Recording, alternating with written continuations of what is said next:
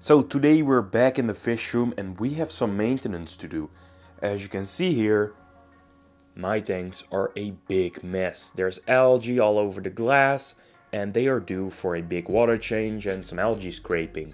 So today I'm taking you through my entire process.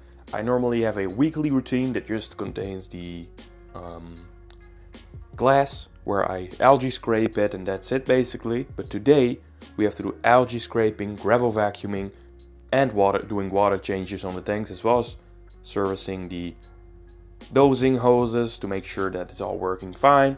We have to clean these over here because they are messy. There's algae, there's all sorts of nasty stuff on there and it doesn't look good at all. So today that's what we're doing and I'm taking you along with me on this journey. This is also a great opportunity for you to do your tank maintenance with me while you watch this video. And while we're at it, let me show you these insanely ugly aquarium tops. It's just plexiglass and it's bending in all sorts of angles. It looks awful, it looks disgusting and I really have to find a, a different solution for it. I like the net cover I have on here, but evaporation is crazy. Evaporation on these tanks, however, less evaporation because all the water stays inside the aquarium and it just falls down into the tank again. But it just looks awful. So I have to find someone that makes custom acrylic, I think, uh, aquarium tops for these three tanks. Let me know your suggestions in the comments and yeah, let's get started. So, one of the first steps in my maintenance routine is taking off these awful aquarium tops. But for that I will need something to keep the floor nice and clean because it's... These tops get really dirty with water and just dust from my room. And I just put it right here on the side. Take it off and it just it can leak on there I don't care and the final step in my maintenance routine is cleaning these in the shower. But I won't show you guys that. It's disgusting. And there we go. This one is actually too big for this spot over here. So next up which tank should we start with? The frag tank the mixed reef tank or the soft coral aquarium? I think I'm going to start with this one. It's the easiest one. Then we'll move over to the soft coral tank and lastly the frag tank. It's a pain in the ass to really get a good cleaning done because of course we have the frag rack over there and I need to take it off because I want to keep the back of the aquarium clean as well. And I see some red cyano over there. And this one is just super messy and annoying to clean. Now to clean the glass I like using the um, flipper, which I should have it somewhere in here. No, I do not. Let me find it. Should have prepared this. Where's the flipper? Okay, I found it. Finally. Right here, a flipper. It is a magnetic cleaner, so I don't have to get my hands wet just yet. But we'll have to do that later when we do the gravel vacuum. Now I said I usually clean the glass on a weekly basis, but to be honest, I skipped last week's maintenance, so this is about two weeks worth of algae. So not too bad actually. And one thing that really, that I noticed is that, of course this tank is the oldest, and it doesn't get as dirty as the other two tanks. So I guess it has something to do with the stability of the water and just how well established the system is. Using the flipper super duper easy, you just go back and forward until all the algae is gone. Now sometimes you'll notice that how it doesn't matter how often you go over a spot, some algae will still be left over there. So then you just take it, flip it, and use the knife part of the flipper and it solves the problem right away. So that's what I'm doing now. It's, it takes about, I guess, maybe 10 minutes for each aquarium to really get all the algae off.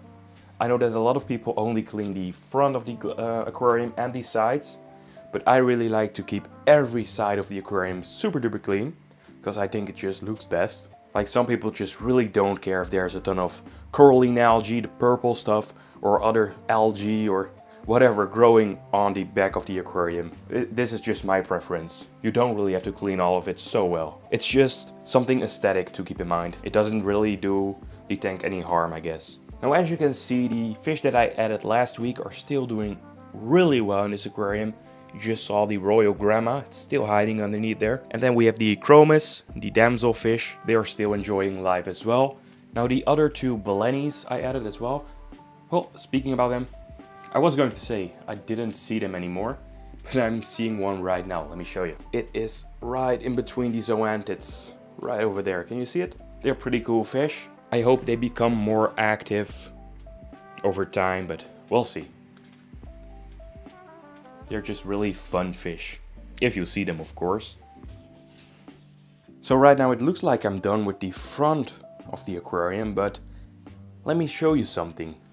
Because it may look super clean from this angle, but if you look from here, not sure if the camera picks it up, yeah it does.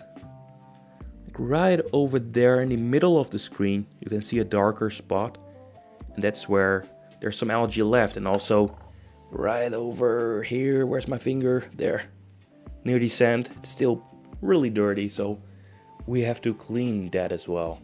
Now to clean close to the sand, I don't like using the flipper because sand can get stuck in between the magnet and it can scratch your entire glass if you're not careful, like me.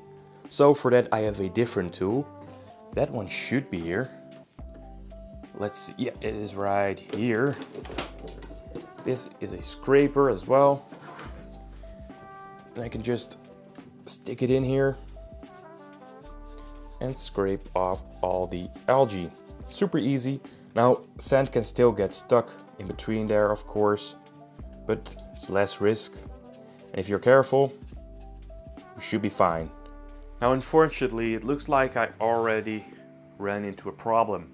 I thought I had enough salt water here at home, but I don't. So what I'll do is I'll just clean the glass of every one of these tanks and then we will go get some salt water from the fish store and when we when we get back home the water will probably be a little bit clearer already but then we don't have to wait and do the algae scraping on the other tanks anymore that will save us so much more time because it's already 5 p.m. and the store closes at 8 so if I only did this one then went to the store got back home and had to do the other two tanks, we would probably be done at like 3 a.m. and I don't want to do that. So now just enjoy some clips of me cleaning all these three tanks and then we'll go to the fish store.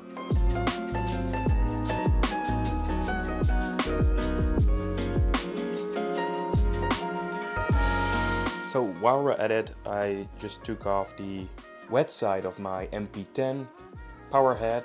I'm just using a, an old toothbrush to get all the nasty stuff off of there. Now every now and then I will literally just take it apart, every piece of it, and I clean it downstairs at the sink. But it's not too bad right now because I recently added these to the aquarium. So for today, just the toothbrush is perfect. That's it. It's clean and we can put it back. So of course the water is getting a little bit cloudy and the corals are starting to retract a little bit because we have been messing with the aquarium. But that will all get fixed later on.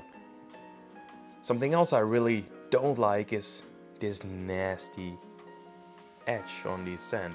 So what I usually do is just take my finger and just move it along the sides they get rid of all of it.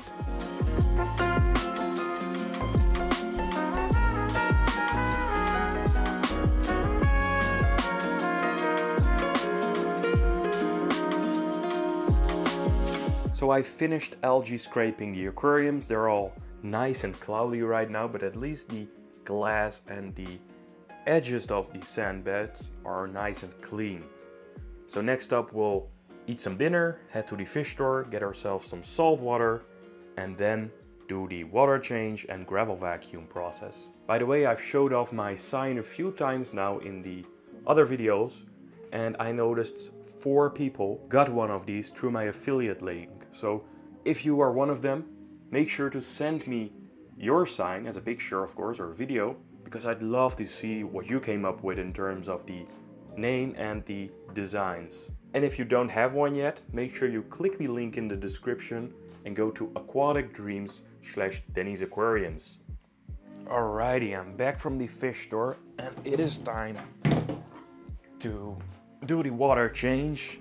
I have some salt water here. Normally I either mix it myself or if I thought I had some and I don't, I will just get it pre-mixed from my local fish store. Sometimes it's natural seawater, sometimes it's just synthetic seawater, mixed salt water um, from the local fish store. If I mix it myself, I use RODI water and the Fritz Aquatics RPM Pro Mix. So, we need a big can of salt water. I already heated it up to the right temperature, which is 24 degrees Celsius for my aquariums. We have a small container for the waste and then we need something to clean the gravel or sand of course which is this device right here. And this is going to be super easy. I'm just taking off my watch because it will get wet and then we stick it in here.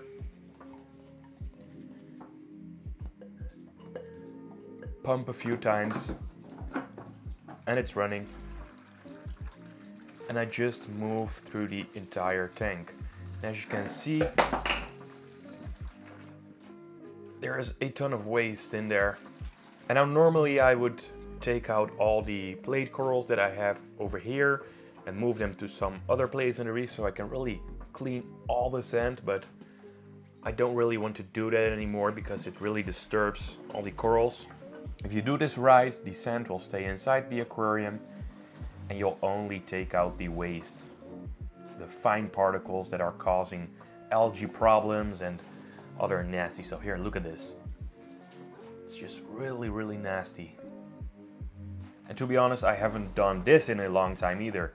Like I said, I skipped last week's maintenance, but I think the last time I really cleaned out the sand like this was probably two or three months ago, I think. So it's really due for some maintenance now.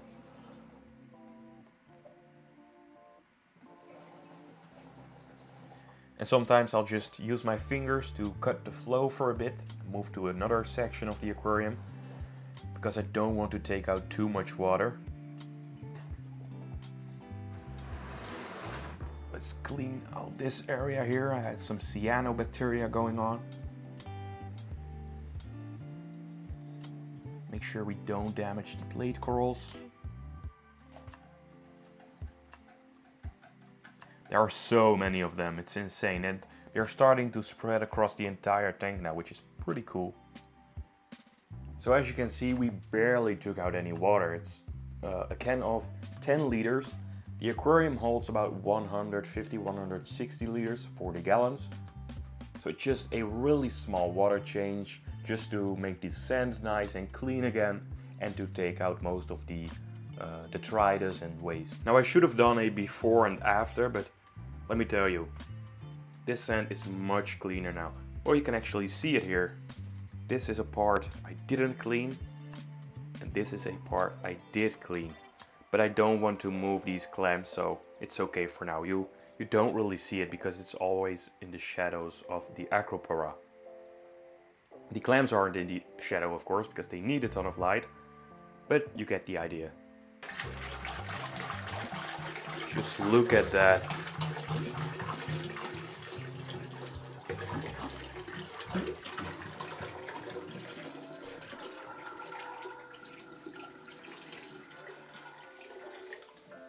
It is disgusting.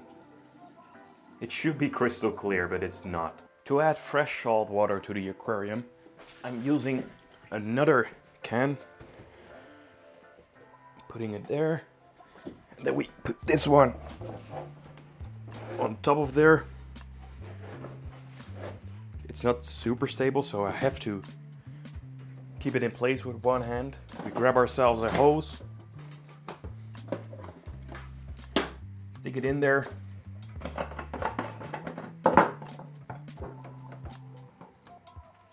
Be very quick, you don't want to taste the salt water. And we just add it to the aquarium like this. A long time ago when I just started off with saltwater aquariums, I would just take the container of water and dump it into the tank, but it just, it, it would splash everywhere and it makes a huge mess, so this is much easier. So I filled up the aquarium to the level it should be at, and I noticed I knocked off a small piece of this Montipora. So what I usually do with that is, I just throw it in the garbage, you know. I'm kidding. I just look for a spot in the reef, like right there for now, and it will just start growing there. You can see I have a lot growing here, more of the same species over there, of course here, and probably somewhere in the back over there as well. Now for this aquarium, the frag tank, we need a different approach. As you can see there is a egg crate uh, in the aquarium, so we can't use the gravel vacuum to clean the aquarium. So what I do is I take this green hose, get the flow going, and then I use a turkey baster to just blow the debris out of there, not suck up any coral. There's some over here. And then I saw some cyano in the back here, so I'll just get rid of that really quick. It's probably because the flow is blocked by the, these massive corals over here. Because it's nowhere else in the aquarium. Let's see if I can change this up. Here, look at this. Super messy. A lot of sand. There's a ton of bubble algae on here, so it's time we take this aquarium down and rescape it into the SPS only tank I have planned. Now because I already used the big container for the other aquarium, it's much lighter and easier to add it to this aquarium like this. I just keep my hand underneath there so it doesn't ruin all the corals. Now this water is the perfect temperature, it's 24 degrees Celsius. If it were to be too cold, I just add a heater an extra heater or even one for my aquariums really quickly into the uh, container to get it to the right temperature because you don't want to add any colder water to your live aquarium with live corals because that can really mess with some of these species, especially the SPS and some LPS corals. The soft corals usually do fine, but the other corals really get a big hit when they get temperature swings and that sort of stuff. So be careful with that. Stability is, is key Alrighty, so I repeated the same steps for the soft coral aquarium and one of the final steps in my maintenance routine is right before I clean the glass, I have to get rid of this ugly layer on top of the water. It has a ton of biofilm, which is basically a buildup of bacteria. I explained this in my previous video. But there's also a lot of waste in there right now. Fine particles that usually your filter would take out, but my aquariums don't have any filtration on them. So what I use is, I use a surface skimmer, which is this device here, to get rid of all those fine particles. It takes about five minutes for each aquarium, and then I just take it out because I want as little equipment on the aquariums as possible. So I just stick it in here. Usually near a corner works best for me. Because the flow goes in a circle and it ends up here before it goes back to the power head. And I just plug it in. Let's see if I have a plug left. Yeah. Just take out one of the lights, so. There we go. It's blowing a lot of air bubbles. We don't need that. So let's see. There we go. We fixed it. So the aquariums are so much cleaner now. The water is still a little bit cloudy, but that will clear up in a few hours. Hello fishy, are you happy with your clean aquarium? almost clean aquarium. Look at this mess. We'll fix it for you. He seems a little bit hungry. Or she. It's a she. The bigger one is always the female. Smaller one is the male. I hope these lay eggs very soon. So let's see if we have some food somewhere. Probably not. Let's see. Yeah. The Danny's Aquarium's food mix. No, it's not my food mix. It's just a mix of all sorts of pellet food from different brands. I just mix it in there. So let's see. Let's use this spoon. Look, they're going nuts for it. And there we go. The tank is dirty again. No, just kidding. Guys, can you see that? Right over there. My dosing pump is leaking. What the heck? Oh. It has a leak. No. That's super weird. It's probably a big mess over here right now. Oh god. Yep. Look at that. Oh, that's nasty. I have to clean that tomorrow. Now this should be a pretty easy fix. Because it is right up here. I can just cut off a piece. There we go. Of course it's leaking everywhere. Just put that on there again. So that should be fixed now. Hopefully. Ah. The Reef Kinetics Reefbot Lab hose is not staying in the water. There we go. Fixed. Awesome. So now we can finally move on to the final step of my maintenance routine, which is cleaning the glass. For that I use a washing cloth that I just put in a uh, small cup of RODI water and I just start cleaning all the sides of the aquarium like this. I almost failed there, like last video. There we go. Other side. And because I'm using RODI water, it doesn't leave any nasty marks on the glass. There we go. Then I use this thing over here. What do you call this in English? I have no idea. Just swipe it from left to right. There's some water left here, so I use a dry cloth and get rid of that as well. Other side. And then I always clean the top of the glass as well because looks nasty if there are fingerprints or watermarks on there. And that's it. This aquarium is ready, maintenance done. I think it took me about well, maybe maximum of 30 minutes for each aquarium, so that's one and a half hours this time. Of course I had to go to the local fish store this time, but usually I have my salt water ready, so super simple doesn't take you a ton of hours every day to maintain a reef tank. It can be really simple. So I cleaned the glass on all the aquariums and look at this. They are looking incredible. I'm so happy with the way the reefs are turning out. The macroalgae in that tank is growing really fast and I need to add some more soft corals over there, maybe something colorful, I don't know. In the 40 gallon I want some different colors as well, as you can see. The colors aren't too exciting, so I want to add something else. And then the frag tank is, well, you've heard it in the last video, we're turning it into an SPS only tank. So I really hope you enjoyed this video. I took you along with me as I did maintenance on all of them. I hope you cleaned your aquariums as well. And let me know in the comments which one of these is your favorite and what you want to see next. Thanks for watching.